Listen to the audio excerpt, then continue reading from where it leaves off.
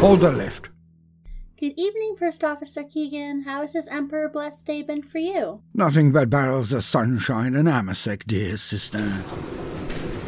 Deck 6, Sector 85, if you'd be so kind. I just got out of my daily briefing with our dear captain, and the commissar came up. She's not exactly happy, but what else is new? Captain Verletta? She seemed in good enough spirits last time I spoke with her. Spirits are the operative word. huh? Don't worry about it. She definitely doesn't. That datapad is written in all capital letters. Is that the way you normally write memos? No. Strange. At the end of the day, I prefer to write down what's said in the way it's said. And since I can't paint the words on the side of the ship, this is the best thing. Do you mean she yelled at you? Something of an understatement. Yelling for her is somewhere between a whisper and writing a note for most people in terms of volume. Ever heard of the Noise Marines? Yes. Ah, you get it then. I'm on my way to see the Commissar. Is he in a good mood? I do believe so. Not for long. Why? Captain Varletta has given me a message to relay, primarily because she can't seem to remember how to use the Vox. I am to inform him of the captain's displeasure. Oh, First Officer, it certainly can't be as bad as all that. You are the boil on the armpit of humanity. You're about as interesting to listen to as the last post binge. it's that bad. Thrilling, in fact. It's going to be great in my autobiography. Next to the four or five times a day I clean up her vomit from the chair she either sleeps, slumps, or gets sloshed in. Be nice if she did something commanding every once in a while. But beggars can't be choosers. I get the idea you don't like it on this ship, Commander Keegan. You're the first officer of a Dauntless class destroyer. What can be so bad? Let's put it this way. I have dreams of herding cats. They are wonderful dreams. But I don't have someone who smells like a bum who got lost for five years in a liquor factory yelling in my face about things that are her fault. And I don't have random people showing up uninvited to, quote, visit the commissar. Commissar, I demand. Oh, no! Hello, noble blood raven. Speak of the devil. First Officer Keegan, is the reliquary locked? You're assuming we have anything worth stealing. You're not wrong. Excuse me, I think I'll just be going this way. Oh, Barzich. Glorious to see you, sister. You seem ill, noble Astartes. Why are you trembling? And where did you come from? I, well, you know, I, Dust everywhere. why am I in an elevator? Tell me, noble space marine, why does our lovely sister think you are a blood raven? You're not a blood raven? Dear sister, this is Isaac Araman. Are a what? Are a man? Run. It excites me. That sounds like a you problem.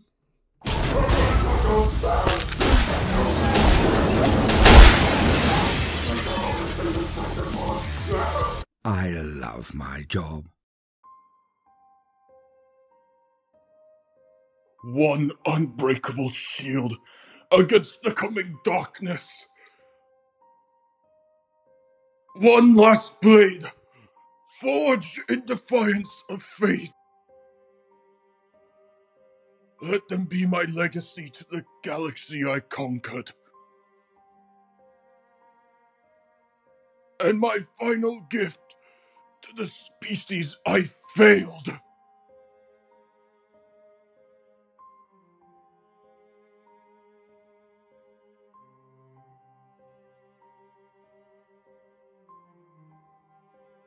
It was said that the Thunder Warriors died in a glorious final battle, the last battle of the Unification Wars, charging the final enemy stronghold in a valorous and beautiful final act that cemented the rule of the Emperor beloved by all. The last Thunder Warrior alive, with his last breath, erected the banner of the lightning bolt at the top of the mountain, his duty done, and in death the noble Thunder Warriors now rest. It is a beautiful story about the final act of a breed of warriors that had won the Emperor Terra, and then firmly allowed humanity to take its first steps towards the stars in over 4,000 years. That story is a lie, a beautiful lie to cover a hideous truth. The truth is that all the Thunder Warriors who were left after the conquest of Terra were gathered for an assault on a hill that was barely worth defending. To the Thunder Warriors, it was to be a symbolic gesture, an easy victory, but a symbolic one. As they charged the hill, they were already cheering in victory. They never noticed that the Golden Warriors of the Custodes and the first few Astartes of what was become the Black Angels had completely surrounded the hilltop that they charged towards. As they mopped up the meager defenses and began to celebrate, the word was given. The Custodians and the Astartes turned their weapons on the Thunder Warriors, and what followed was the complete culling of the entire strain of the Emperor's first Proto Astartes. The Thunder Warriors were an unstable group, and like a baker throwing away a bad batch, the Emperor simply tossed them aside. The tool had been good enough for the job of conquering Terra, but now that tool was useless. Rather than trying to save those who had been the workhorse behind the Unification Wars, the Emperor chose to eliminate them, and then lionize them forever. The story of the last brave charge of the Thunder Warriors was told and then repeated, and no one who was actually there ever spoke of it again. The few times one of the Thunder Warriors was actually sighted after escaping the genocide of their genetic strain, they would be instantly hunted down without pity or mercy, lest the truth of what actually happened be revealed. Secrets such as this, were they to be discovered in the early days of the Imperium, would have had instant and dangerous results. It is not a stretch in any way to say that certain Primarchs, upon finding out the truth of what happened to the first tools of conquest the Emperor had, would have instantly rebelled out of a sense of self preservation. If the Emperor had ordered the eradication of those who had conquered Terra, what would stop him from doing it again? To any who would say the Emperor wouldn't have done this, we already have examples in the 2nd and 11th Legion. I say all of that to say this. When a secret needs to be kept, there is always one thing in common. There is always someone who must never find out what only a few actually know. With this in mind, I will now tackle one event that is always brought up when discussing the mistakes that the Emperor made. It's one of the most memed about events that happened in the heresy, and from the outside it causes the most confusion and downright bewilderment from most fans of the universe. But what if I told you that the single greatest mistake the Emperor was said to have made was never a mistake at all? What if I told you the truth? that if the wider Imperium ever learned of what the Emperor intended, the Imperium would have ceased to exist in its current form almost instantaneously. I'm speaking, of course, about the Human Webway Project, the single greatest gamble in humanity's history. For an unknown amount of time before the Emperor began even crafting the Primarchs, the Webway Project was front and center in his plans. In the grand scheme of things, the Webway project was always the most important to the Emperor, greater than the Primarchs, greater even than the Imperium itself, just because of what the completion of the project would allow. For the Emperor, it started in the ruins of a city dating extremely far back into the Dark Age of technology. Inside the ruins of this city that's set in a desert in modern day Asia was the first piece of technology he would soon modify to use in the Webway project the Golden Throne. When most people picture the throne in their mind, they picture the Emperor sitting on a literal golden chair. The truth of the matter is that the apparatus of the Golden Throne sits on top of a massive warp gate. In fact, the warp gate is so tall that a Warhound Titan could comfortably walk through it upright with no danger of clipping the sides or the top. The area in which the Golden Throne sits would again be the size of your average NFL stadium, large enough to fit the entirety of the apparatus of both the Warp Gate itself and the Golden Throne, as well as at least six full companies of Space Marines and every bit of support gear they could possibly need, as well as vehicles. All of this was underground beneath the Imperial Palace. The planning and execution of the Webway project was carried out entirely in secret, and the only one who actually knew of it that was allowed to actually leave the project site was none other than Malkador the Sigillite. An entirely new order of the Mechanicus was created by the Emperor himself, named, quite poetically, the Uniters, who worked tirelessly on the project. As the Great Crusade expanded, part of the process was the search for more technology to be used in the development of the Golden Throne, leading to discoveries such as a less powerful version of the Golden Throne known as the Dark Glass. The Dark Glass apparatus was used as a testing board for all the technologies that would later be installed in the Golden Throne itself.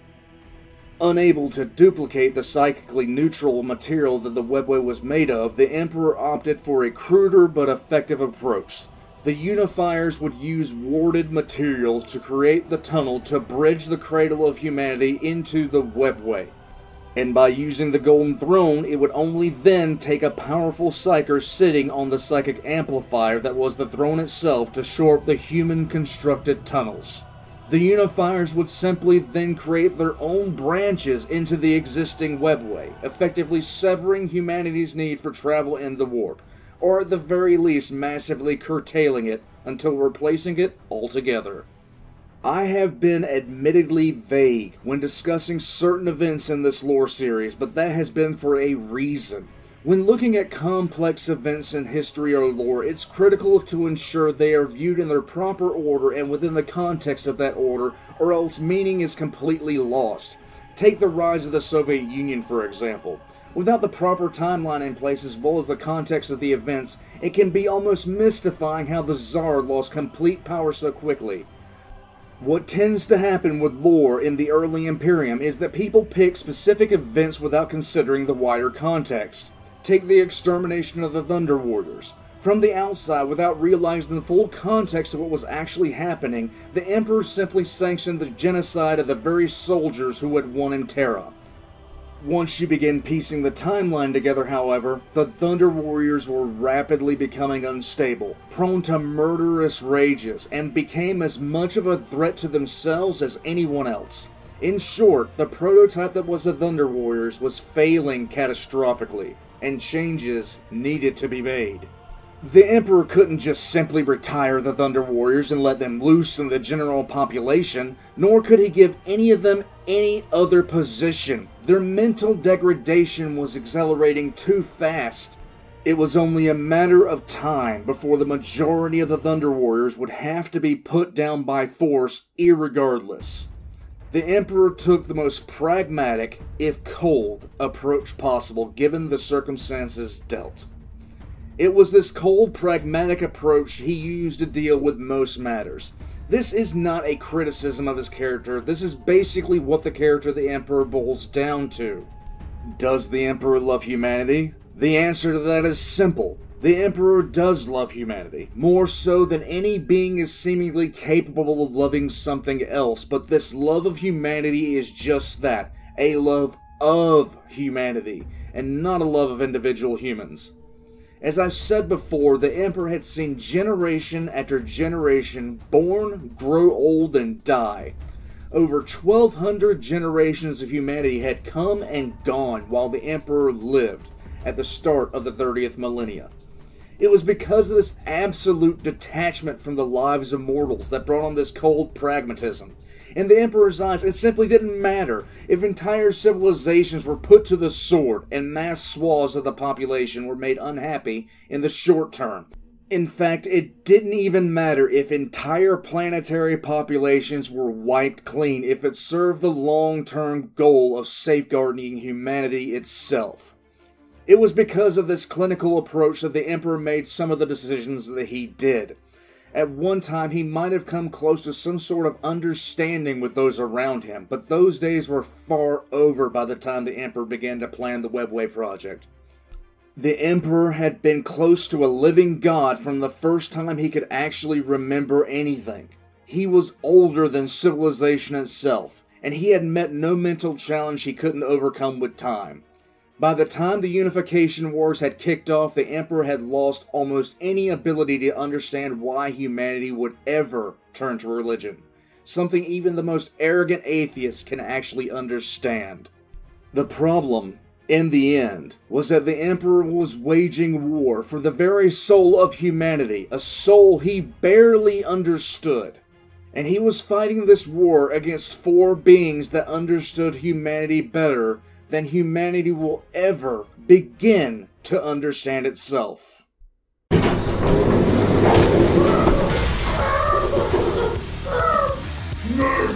You owe me! I haven't given you your proper blessing, noble space marine.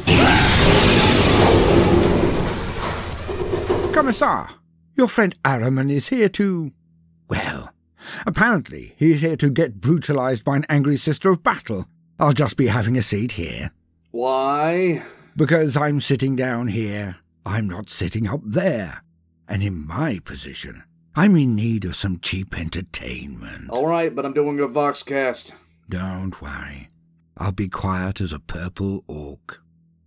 I'm not saying it. Oh, come on. It'll be fun. No. Spoil sport. So let's actually answer the one question, the most asked question when dealing with anything the Emperor did wrong. Why did the Emperor not tell his sons, not even Horus or Magnus, about the Webway project? The answer to this comes from the one thing the Emperor actually did understand better than anything else power. In the fledgling Imperium, there was a single organization that held absolutely no military might. Any economic strength was utterly meaningless, and it had next to no political aspirations.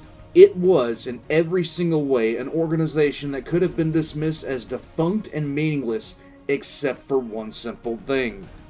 In the United States alone, there are over 2 million semi trucks in operation, all driven an average of 45,000 miles, or over 72,000 kilometers per year. 68% of all goods are transported by truck, and if you were to average out the weight of goods delivered, it would average out to over 60,000 pounds for every American alive.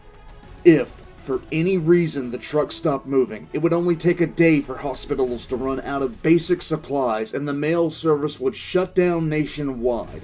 Fuel shortages would begin to immediately appear. Manufacturers that operate within a just on time model would begin to fail. Within three days, almost every major city would begin to experience food shortages. Banks wouldn't be able to process transactions. Within only two weeks, the clean water supply in most cities would be completely gone. These timetables do not take into account population panic in the face of whatever event led to this. Most cities, bereft of the constant supply, would devolve into absolute anarchy within days. Violence would be the order of the day over basic food items that cost less than a dollar, and water would be worth its weight in gold.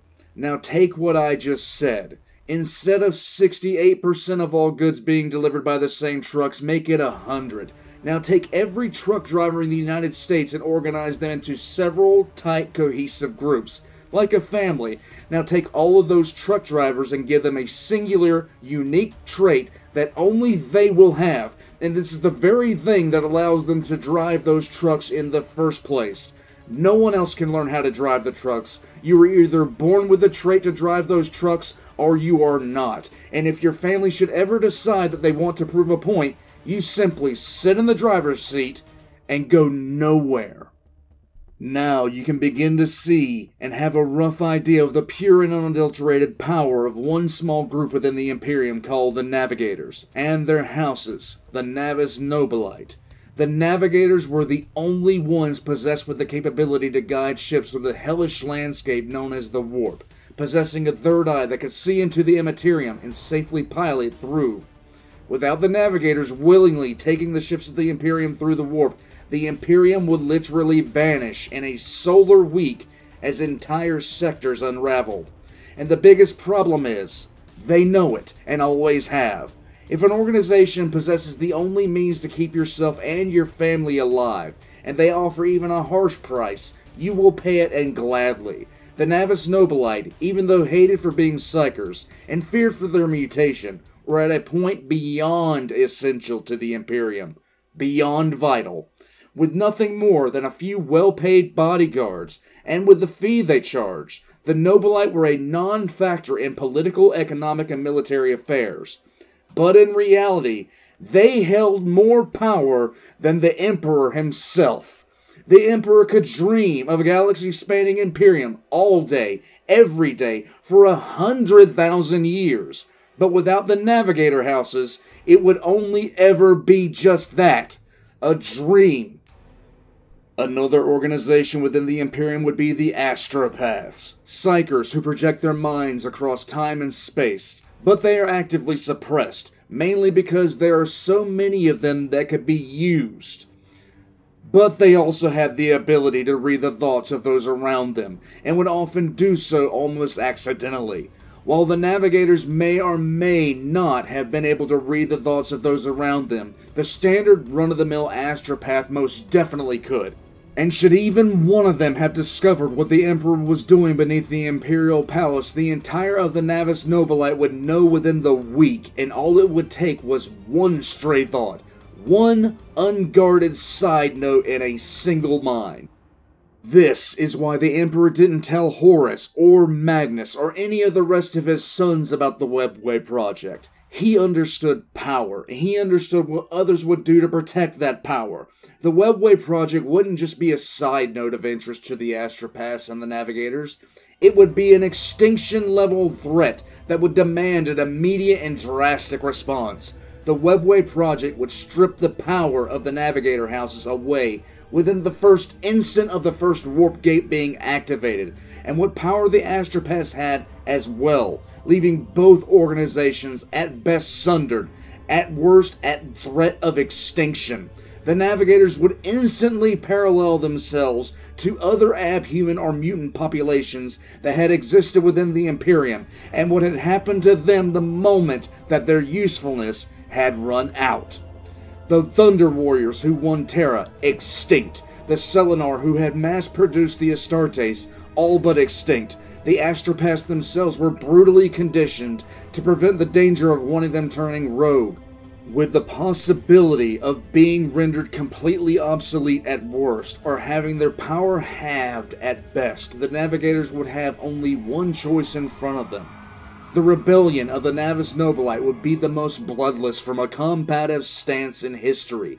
They would simply do nothing. The Emperor, if he wanted to save his Imperium, would have no choice but to meet the demands of the very thing that currently held his empire together. And when I say the Emperor would not have a choice, I mean exactly that. Unlike any other organization that existed, there was simply no backup plan or fallback in the case the Navis Nobilite stopped working with the Imperium. And again, the Navis Nobilite knew this very well. Of course, the Emperor could put their lives under threat, but the chances of that working are very slim to non existent. An individual navigator might cave, but not the majority, and based off the earlier treatment of abhumans whose usefulness had run its course, the navigator houses would not be swayed on this. It is the very definition of a no win scenario for the Emperor. Keep it secret from everyone, or risk the project becoming known to the very people who you are attempting to supplant in power. Killing them is not an option if they rebel. Threatening them is pointless because if you get what you want, they will probably just die anyway. At the point the Navis Nobilite finds out about the Webway project and it becomes a serious threat, the organization would throw the only card that it had to play sit down and do nothing. And it would have worked, because the second the Nobilite refused to guide the Imperium ships, the Imperium would have a month of continued existence at best. It's clear that the Navis knew that the Emperor was attempting to do something to ease the reliance of the Imperium on them. They had attempted to destroy the technological artifact known as the Dark Glass, but while they might have had their suspicions, they did not have rock solid proof, and they certainly didn't know how close the Emperor was to completing his project. Even though they were feared, even though they were hated, the rebellion would have been a public affair. This is why none of his sons knew. Not because he didn't trust them completely. It was because he knew the risk. It was a risk not only that the Navis Nobilite would find out, but that the Imperium would see the true power behind the throne. It was not the Space Marine legions, nor the mastermind of the Imperial Navy and Army. It was in a small group of mistrusted and hated abhumans. If the Navis Nobilite had discovered how close the Emperor was to cutting off humanity's need for the warp, and had staged a rebellion, there was very little that could have been done about it, but the consequences would have been staggering. The Emperor's image would have taken a very serious and public blow that could have proven disastrous for his leadership of the Imperium. Even the betrayal of Horus would have paled in comparison, for while one was against a powerful military target that was bent on the Emperor's death, the very war which turned him into a messianic figure, the other would have destroyed the image of absolute power that the Emperor possessed. The Navis Nobilite, in playing their only card, would have been fully capable of increasing their own power and influence titanically. In fact, the only reason they don't do so now and did not do so then was because, strangely enough, of their public image. They are hated and feared, but they are content to be left alone and sell their abilities to the Imperium for a fee. However, if they were placed under threat of extinction, which the Webway project was an existential threat, they would be justified in reacting regardless of how anyone felt. There would be no imperial cult as a result. There would be no God Emperor of mankind.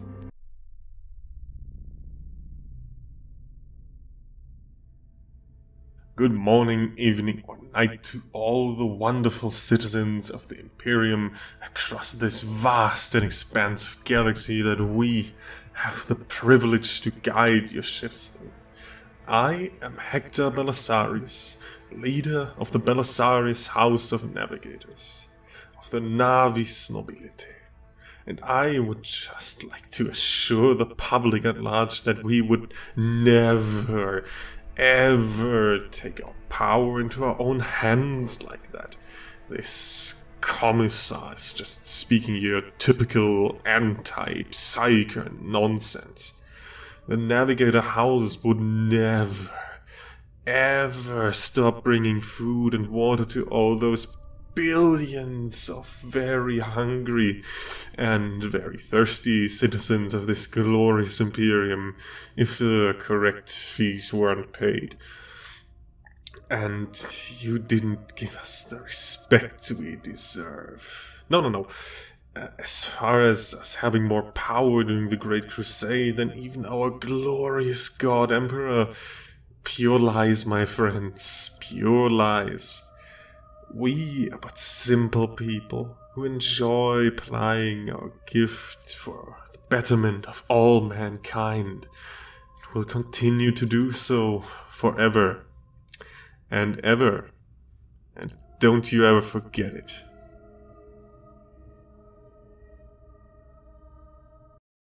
One Primarch did find out about the Webway project on his own, or at least he had an educated guess. I covered the destruction that Magnus had caused in my last Voxcast on this subject, but what I did not cover was the effect it had on the Emperor himself, besides his confinement to the Golden Throne. When I talk about how the Emperor both viewed and used his sons as tools, there are some that critique my reasoning. Often it is cited how the Emperor behaved in the later stages of the Crusade. He was sentimental, and he was often portrayed as downright merciful and loving. How can a man who viewed his creations as tools be at the same time the same emperor that began expressing such hopeful pining that his son would return to his side? Alright, who's calling me on the Vox? Commissar, First Officer Keegan? could you come down to the 12th cargo hold, please? Does this concern the What do you space? think it concerns, Commissar? Very well be down in a bit. I've said this in a previous Voxcast, but it's appropriate here, so I'm going to repeat myself. It is said that when you make a profound mistake, or in this case mistakes, there is a moment of clarity that roots you into the place in which you stand, a moment that shocks you to your very core.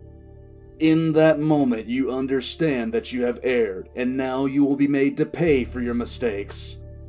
The Emperor had watched as Magnus brought everything he had been working for for millennia crashing down in his face, and was now, for lack of a better term, imprisoned on the Golden Throne without any hope of escaping. For months he hadn't slept or even rested, his entire will bent toward holding back the tides of demons that could spill through if he stopped for even a moment. It was painful, agonizing even, enough to elicit screams of pain at times from the master of mankind. Why does this hold any relevance? It is only when we as humans are dragged down that we gain any real perspective. It's only when we fail and can't fix what has been done that we experience true regret. Regret is as powerful as a prison, and at that moment the Emperor was facing his prison, an eternity of pain and hardship, just to keep the species that he loved alive. One thing that is not shown is the immediate aftermath of Magnus destroying the Webway project, and the importance of those five minutes cannot be overstated. I can only imagine the thoughts that race in the Emperor's mind. The sudden realization of what had been done and what he must now do. I can only imagine the first waves of pain, the way his fingertips would have gripped the sides of the Golden Throne, the first true grimace of concentration. Envision it yourself. See the arcs of electricity flaying around the workings of the Golden Throne. Shouts to the unifiers and the other mortals who are working on the project, trying to find something, anything that would in any way salvage the damage that had been done. For only a moment, I can imagine the Emperor as he felt the full weight of the war pressing against his mind, opening his eyes. I can imagine the looks he gives easily because I've seen similar expressions before. Someone in pain, who doesn't think they will ever recover, who is suddenly and brutally coming to the realization that somewhere, somehow, things have gone horribly wrong, and there is absolutely nothing that can be done to fix it. Then, in the back of his eyes, as he looks at the ruin of his entire dream, I imagine I would see the first flicker of true regret as well as bitterness. And speaking of bitterness, Commissar, I put up with a lot on this ship, and I don't ask a lot, do I? no, you don't. What's that sound? Do I instantly call the Inquisition the second I hear you're playing Battle Mace 40 million with Perturabo? No. Do I lock down the entire ship when random traitor Astartes just pop in at random? Or report you when you basically call into question the actions of the Emperor? No, where are you going with this? I put up with a lot on this ship cleaning after you and the lush on the bridge, but I really need you to explain this one. Why is there a space wall chained to the wall in the cargo hold? Okay, seriously, what is that? Dog toy. What? Never mind all that. Can you explain why he's here now? That's Ohthere Wyrdmake. And that name means what to me? Okay, so basically he's from the 30th millennium, and he was one of the first to insist that all the Space Wolves rune priests aren't psykers. He backstabbed the Thousand Sons, and he was a general douchebag, and I hate him. So I summoned Ahriman of the Thousand Sons using a binding and forced him to summon Weirdmake from the Immaterium, which apparently is hard because his soul was devoured. Um, basically he had to reconstruct Wyrdmake from demon shit. So, anyhow, I forced Ahriman to summon him here so I could tell him to his face that I hate him and he's an asshole. Wow. You just said that so casually. Do you even have a grasp of how much was wrong with that statement? Mm, basically. Okay, seriously, he's way too happy right now and I can't stand it. I'm leaving. I'll be back later. Well, what do you want me to do with him then? Um, how about you feed and water him and then take him for a walk? Very funny. I've often stated in this series that the Emperor fell victim to impatience, hubris, and a general inability to understand those around him. In no way are the last two more clear than in his final dealings with Magnus the Red. I have said often that the Emperor viewed his sons as nothing more than tools, with some being favored more than others. In this instant, the truth of this statement comes to light. The Emperor, even though he communicated psychically with Horus multiple times, did not try to redeem Horus or try to bring him back into the fold. In no way did the Emperor even attempt communications with Perturabo, Angron, Lorgar, Mortarion, or Fulgrim. But Magnus? The Emperor did everything he knew how to bring Magnus back. The reason being simple. Of all of his sons, Magnus was the one and the only one who, at any point, could have salvaged everything that had been done to the Webway, and thereby the Imperium. The Emperor laid out a path only someone such as Magnus could actually see, and guided him unwittingly into the throne room of the Imperium, revealing himself to his son psychically at first, speaking to Magnus in the only way he really still could up until this point, Magnus did not understand the full effect of what he had done by breaching the webway. He did not know how close he had come to destroying Terra in its entirety. The Emperor told Magnus that he had been warned about experimenting with the warp, but admitted his own fault in not telling Magnus why. Magnus was told to his face that the Emperor knew there were places that should not be gone to and lines never to be crossed, and had warned Magnus about it, and all that warning should have been enough. Even when literally negotiating for the life of the Imperium and himself, the Emperor could not empathize with his son, his most inquisitive son, on whose shoulders the Emperor could have placed the future of the Imperium. Magnus destroyed the psychic projection of his father and ascended the Golden Throne, and was prepared to kill the Emperor. At this point, there was no one to stop him, and Magnus's spear was prepared to simply stab forward. He, more so than Horus ever was, was in a position to kill the Emperor as he sat unable to defend himself on the Golden Throne. At the last moment, Magnus broke, unable to kill his father, pain and regret overcoming the desire to kill his creator. The only guardian of the Emperor able to stop Magnus, Vulcan, was too far away to stop Magnus from executing the Emperor, but that moment gave him the time to get to the Emperor's side. The reunion of Magnus and Vulcan is a tearjerker, to be honest. Magnus doesn't know how to even approach Vulcan, believing the Primarch of the Salamanders could only see him as a monster. Now give me a hug. No, no, keep back. I have no idea why you're so friendly given everything that's happened, but this is obviously a ruse. I got nothing but friendliness for you because you are my big friendly big brother friend. But come on, guys, it's Vulcan. Vulcan loved his brothers. And as they spoke, Magnus's resolve slowly faded. The Emperor then communicated again with Magnus psychically. It was in this psychic communication the Emperor made Magnus an offer that simply no other Primarch had received forgiveness.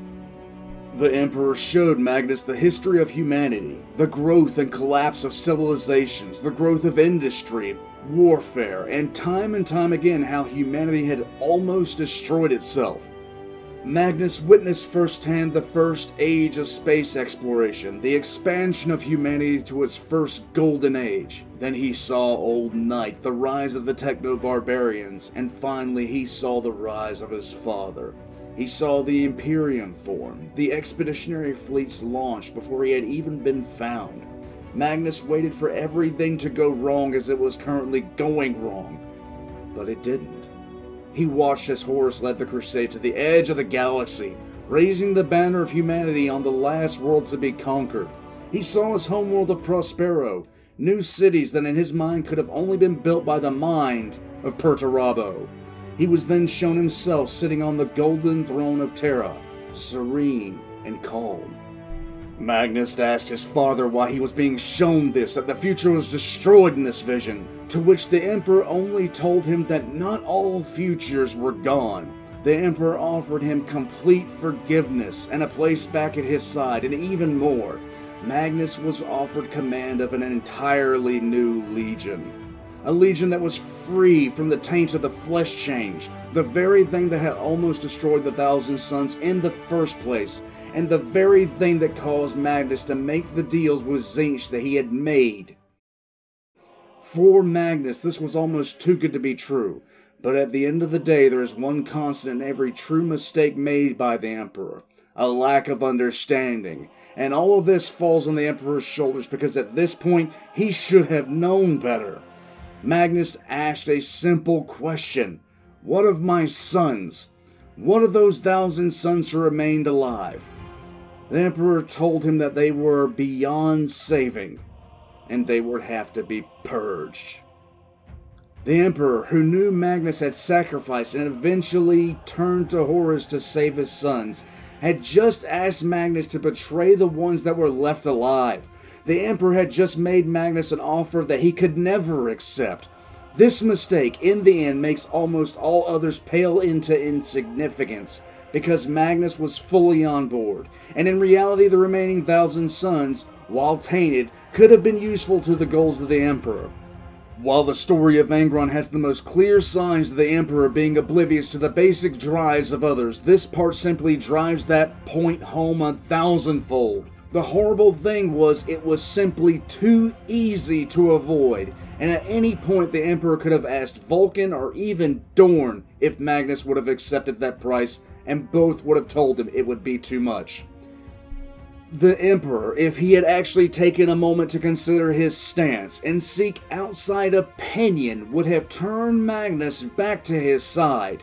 He would have secured the Webway project and the future of humanity, and Magnus would have probably accepted the sequestering of his sons if it meant keeping them alive.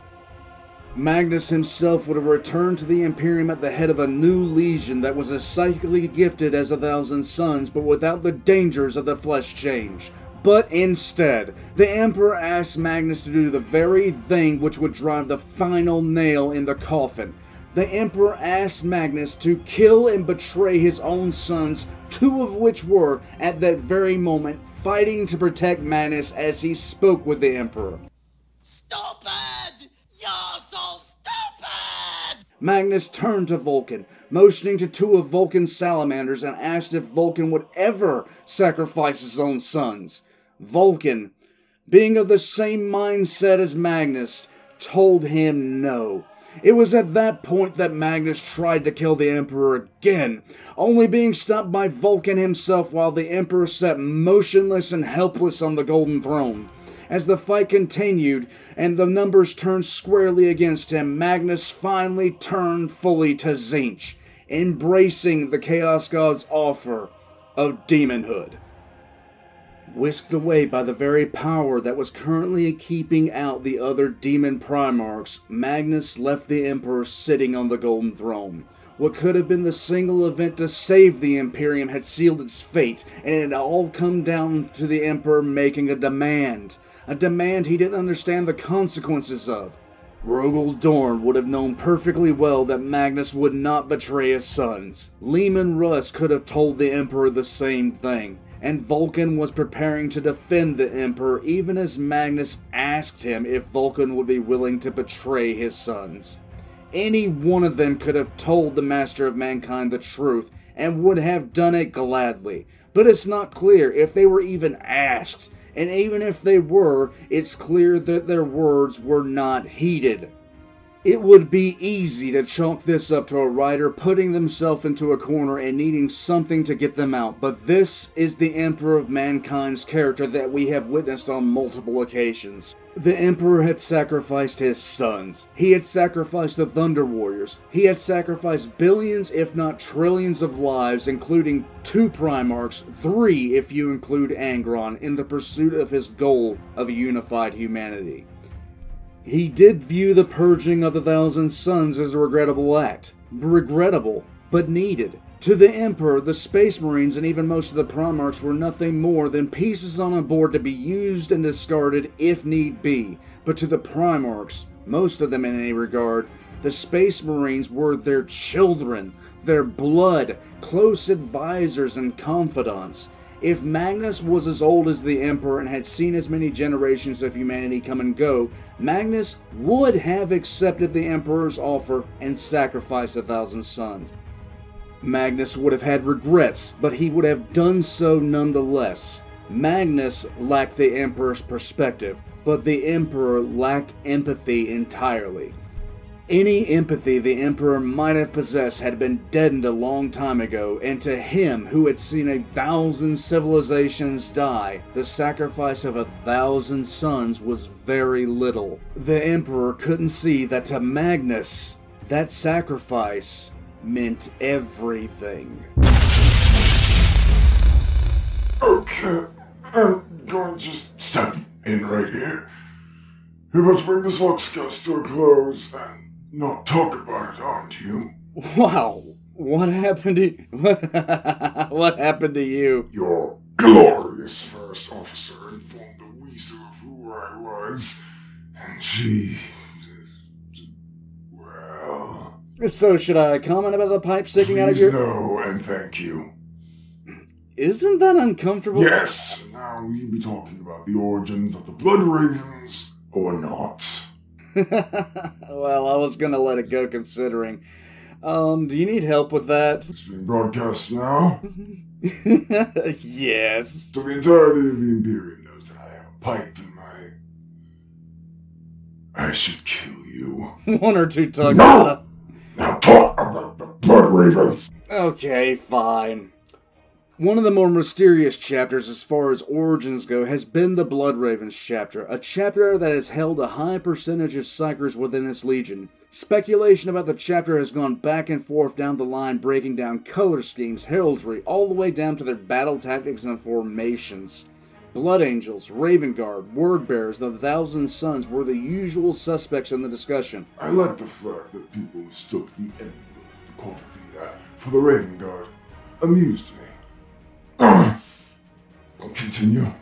Whenever a theory was put forward, it'd be debated. Over time, though, more and more hints dropped that the Blood Ravens were a successor chapter of the Thousand Sons. From prophecies about ravens looking for their father, to heraldry, all the way to comments made in books and games. Over time, the amount of hints pointed a finger squarely at the Thousand Sons, all but naming them as the parent legion of the Blood Ravens chapter. In my opinion, the Blood Ravens aren't a successor chapter of the Thousand Sons at all.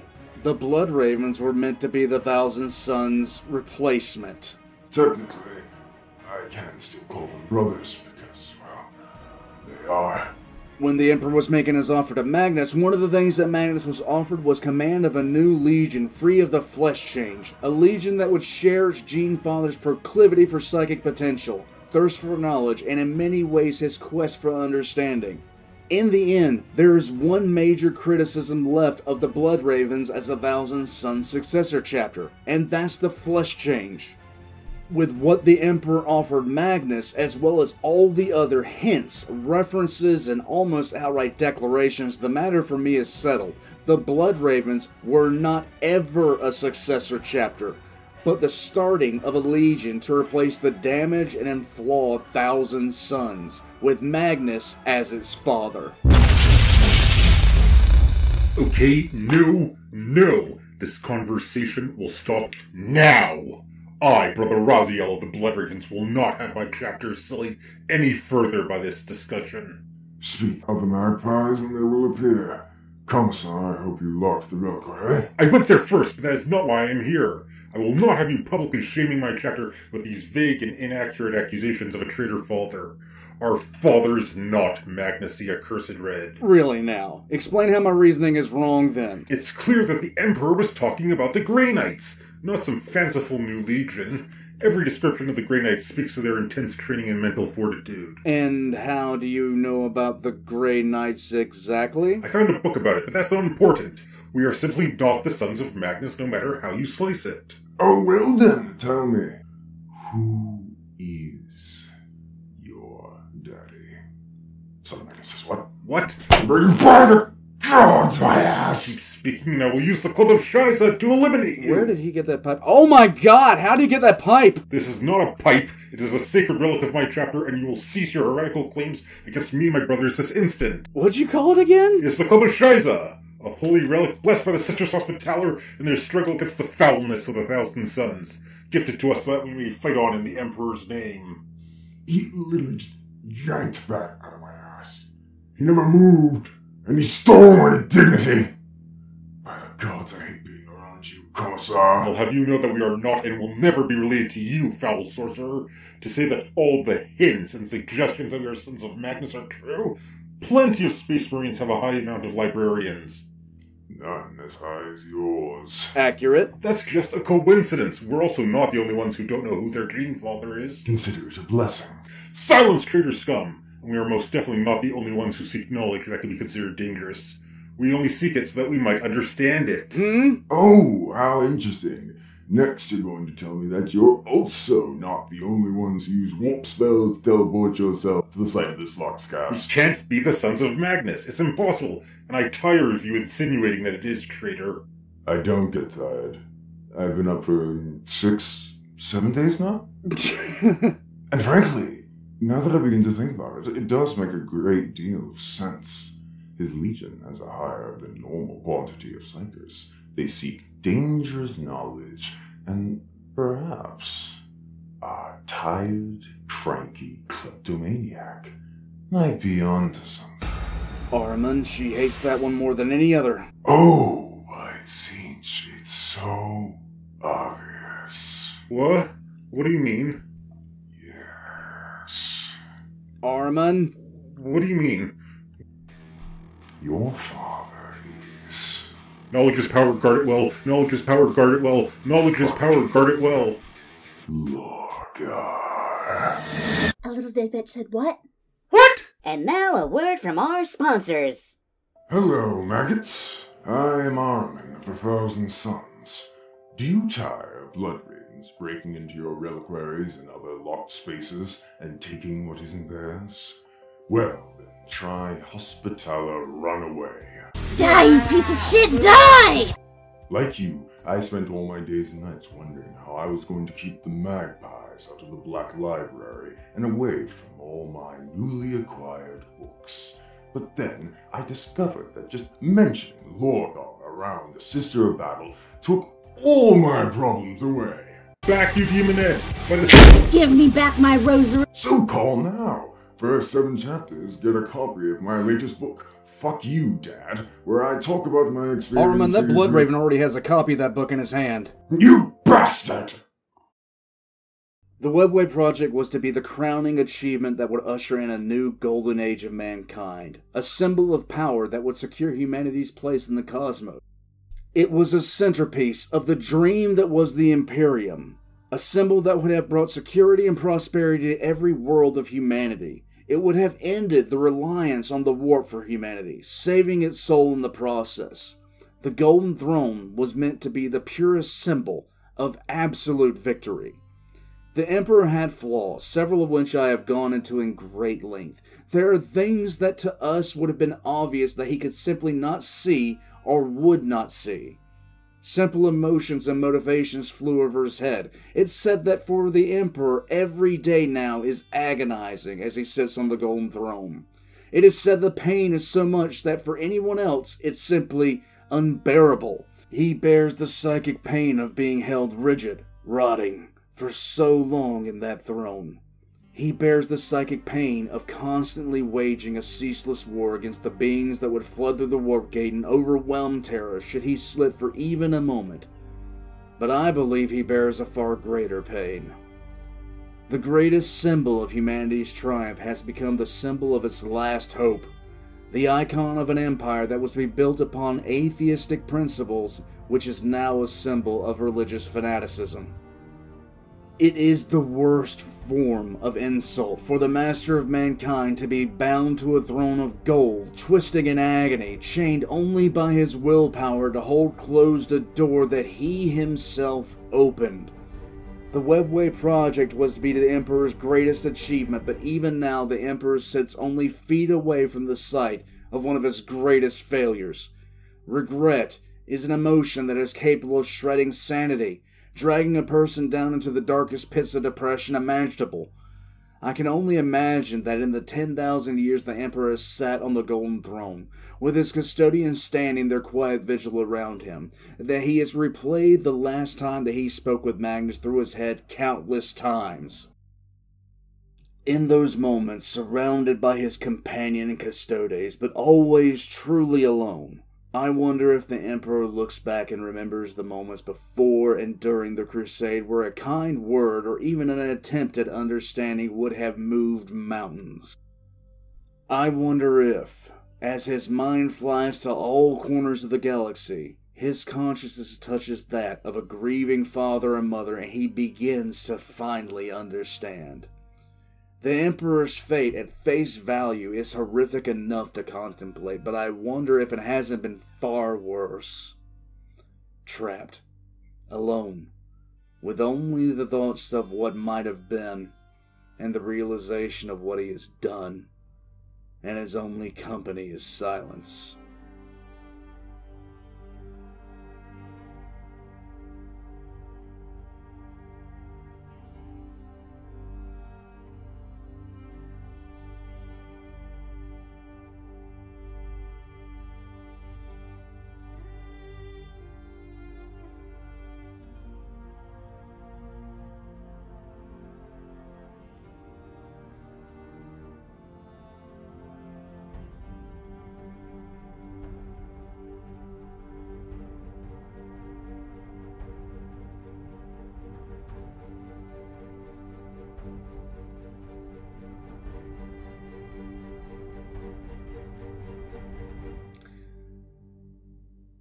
Voxcast is finished.